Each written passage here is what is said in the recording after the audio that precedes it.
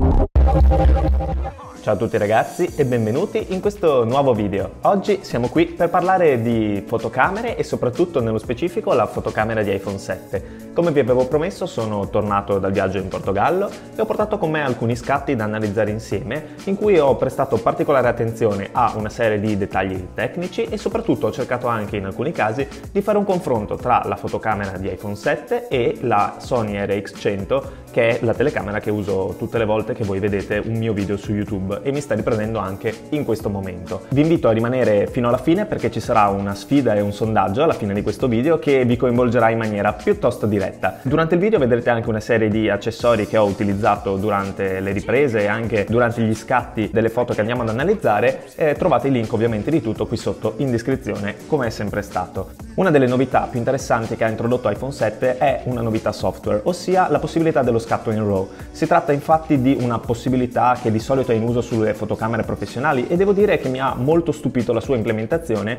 eh, almeno quanto il fatto che porca miseria non l'hanno messo come opzione disponibile nella fotocamera eh, di default di iPhone, ossia nell'applicazione fotocamera non è possibile selezionare lo scatto RAW, soltanto JPEG, non ci si spiega ancora il motivo. Ovviamente sono dovuto passare per l'applicazione di terze parti come può essere Lightroom oppure Moment che è l'app ufficiale delle lenti di cui ho già parlato anche qui sul canale. Andiamo a vedere in cosa differisce dal formato JPEG e soprattutto perché è utile utilizzarlo nella maggior parte dei casi andiamo velocemente ad analizzare ad esempio questo scatto eh, del ponte di Porto. Il ponte di Porto tra l'altro è stato realizzato e progettato da Eiffel, quello della Torre Eiffel, molto bello, molto pittoresco, scattato sia in JPEG che in RAW per, per amor di confronto per l'appunto. Andiamo a zoomare mh, mm, parecchio sui dettagli e vedete come nella variante JPEG sia molto difficile distinguere tra di loro i singoli tralicci, si impastano tra di loro, i bordi non sono per nulla nitidi, eh, i fili del tram sono quasi invisibili, le persone sono delle macchiette sullo schermo e guardate come come eh, dettagli, soprattutto nelle parti più in ombra qui della vallata,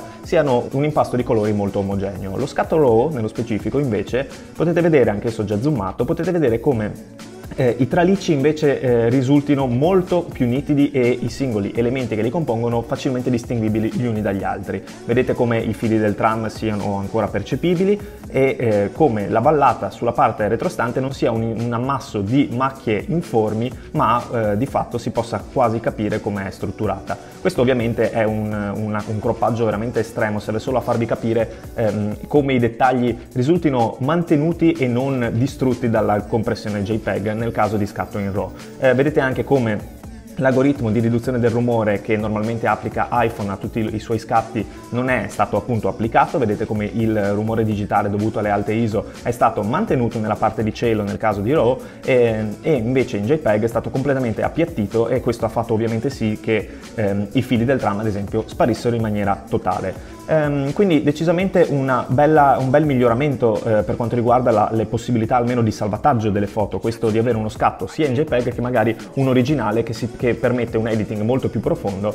eh, per alzare un po' la qualità dello scatto finale. Nello specifico vedete come si possa confrontare uno scatto JPEG appunto realizzato così di default con i, settaggi minimi della macchina fotografica di iPhone con quelli ho fatto con la Sony RX100. Vedete come il bilanciamento del bianco sia totalmente un'altra cosa, ovviamente zoomando i dettagli dettagli del ponte qui non sono neanche da considerare, sono estremamente più nitidi ma ha un sensore molto più grande ovviamente, una risoluzione ehm, quindi risultante della fotografia anch'essa molto più elevata. Però vedete anche come eh, utilizzando lo scatto RAW eh, si possa poi procedere con un editing magari anche leggero perché qui ho fatto veramente pochissime modifiche allo scatto finale per eh, ottenere un risultato veramente simile, veramente comparabile. Bilanciamento del bianco sistemato grazie al camera RAW e soprattutto eh, alzando le luci e sistemando i contrasti si riesce ad ottenere uno scatto più che dignitoso. Vedete il confronto che ci può essere tra lo scatto dell'RX100 e del, di iPhone e le differenze non sono poi così eh, percepibili. Ovviamente poi si può andare ad editare anche lo scatto della Sony e le cose cambiano ulteriormente, però insomma devo dire che la libertà che concede questa nuova modalità di scatto, questa nuova modalità di salvataggio è piuttosto ampia e iPhone mi sta un po' stupendo da questo punto di vista. Anche qui ovviamente è tutto nell'ottica di una pubblicazione sui social, una pubblicazione non professionale soprattutto e sicuramente non per forza a mezzo stampa perché qui eh, le cose si farebbero estremamente più complicate. Altra cosa importantissima per la fotografia è il range dinamico della macchina fotografica che si sta andando ad utilizzare. Nello specifico vedete come questo scatto fatto all'interno di una bellissima libreria che si trova a Porto, in cui tra l'altro è stato girato anche eh, una parte delle scene di Harry Potter, eh, sia stato messo alla prova il sensore e le capacità appunto del range dinamico di iPhone 7. Vedete come questa vetrata completamente illuminata posizionata al secondo piano sia perfettamente a fuoco e soprattutto sia eh, facile distinguere i dettagli che la compongono, tanto quanto almeno eh, la parte molto più in ombra e posizionata addirittura un piano sotto ehm, nel, intarsiate, di questi intarsi nel legno eh, appunto posizionati in una zona di molta molta più ombra. Ovviamente zoomando potete notare come eh, si vada un po' a perdere purtroppo con la compressione JPEG, visto che questo non è uno scatto RAW, si vada a perdere un po' il dettaglio, però comunque è molto soddisfacente il range dinamico garantito di default della macchina fotografica di iPhone, secondo me. Il range dinamico ovviamente è influenzabile via software, ad esempio utilizzando gli scatti HDR, cosa che tra l'altro iPhone permette di fare e io vi consiglio di utilizzare sempre visto che poi iPhone 7 è super veloce a scattare, quindi vi consente di scattare sia il JPEG classico sia la versione HDR praticamente in un solo istante confrontare queste due foto che hanno una criticità piuttosto evidente, ossia il fatto che ci sono delle zone di ombra piuttosto marcate in primo piano e invece delle zone di eh, forte luminosità in secondo piano. Risulta un po' strano e un po' plasticoso lo scatto HDR quando sono veramente disumane le differenze tra le parti scure e le parti chiare, quindi in questo senso è molto importante che eh, la fotocamera di default diciamo di iPhone 7 abbia un range dinamico buono già di default. Trovo che uno scatto così critico realizzato ehm, con queste condizioni di luce abbia comunque eh, delle possibilità di essere facilmente salvato grazie appunto alla capacità di cattura nelle zone di ombra e nelle zone di luce di iPhone 7, veramente degna di nota. Però vi faccio un altro esempio molto velocemente, vedete come eh, ad esempio eh, in questo scatto fatto in albergo invece ci sia una parte totalmente bruciata al di, al di là della tenda che, eh, che, c'è qui nella parte in alto a sinistra. E guardate tra l'altro che casse fighissime che c'erano in questo albergo per ascoltare musica. E guardate come invece con lo scatto HDR sia stato recuperato enormemente il dettaglio attraverso questa tenda, quindi veramente uno strumento potente che vi consiglio di utilizzare soprattutto adesso che è stato ulteriormente migliorato.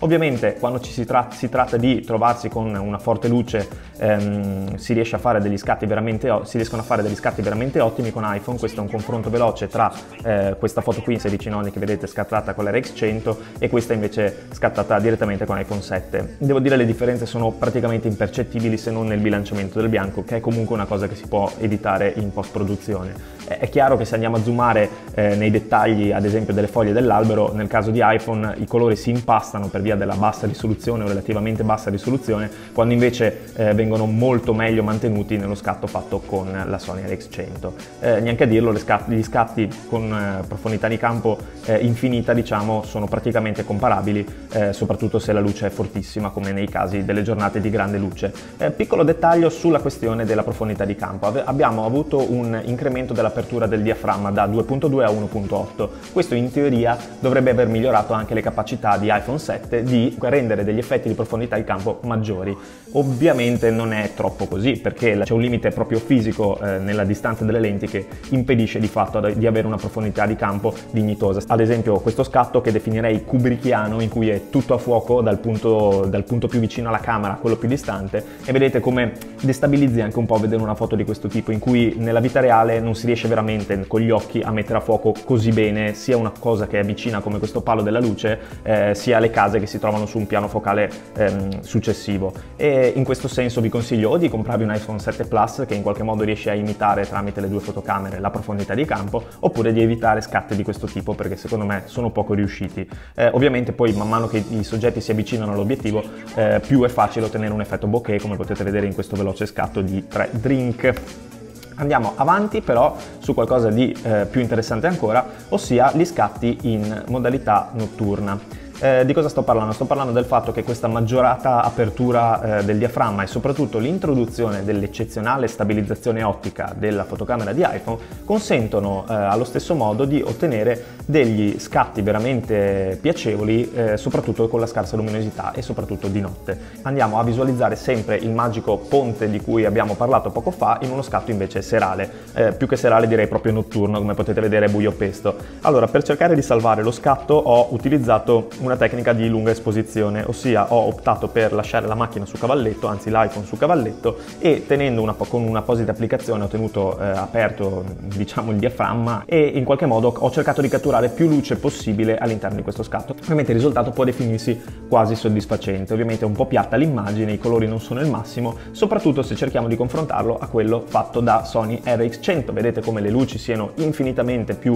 eh, luminose in questo senso, ci sia anche una più, corretta, ehm, una più corretta visualizzazione di quelli che sono realmente i colori di quello scatto eh, e in generale i dettagli sono molto più facilmente percepibili. Però c'è da dire che sempre complice lo scatto in RAW, complice la lunga esposizione eh, di iPhone e in qualche modo anche i vantaggi dovuti alla eh, stabilizzazione ottica del, in, insita appunto nelle, nelle, lenti che permette di avere appunto delle esposizioni più lunghe senza la paura che venga mossa la foto, sono riuscito comunque a strappare dopo un, un leggero editing della foto, vedete, eh, una foto non troppo dissimile da quella scattata con RX100. Vedete come questa è quella con RX100, questa è quella con iPhone 7 e vedete che i dettagli sono eh, ovviamente molto più mangiati nella versione JPEG, soprattutto eh, scattata da iPhone, però insomma eh, si possa definire quasi salvabile. Vedete anche come in questi due casi qui, in cui il tramonto è stato colto in maniera piuttosto buona da iPhone 7, vedete come anche eh, ci sia impegnata anche la Sony RX100 a farlo veramente molto bene, però vedete anche come abbia in realtà inciso avere una stabilizzazione ottica. Questo scatto qui è stato fatto con l'app di Moment che mi sembra non utilizzi o almeno non riesca ad utilizzare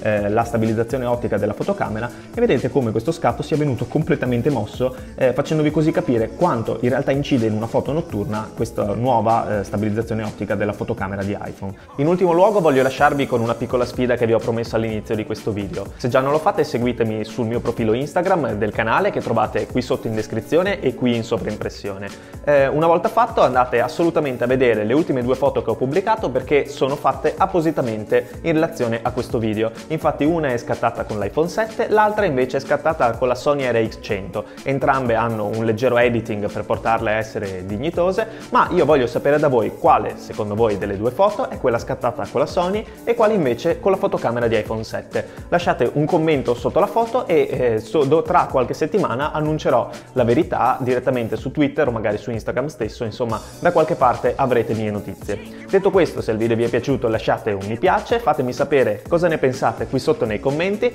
ma noi ci rivediamo sabato con il prossimo video.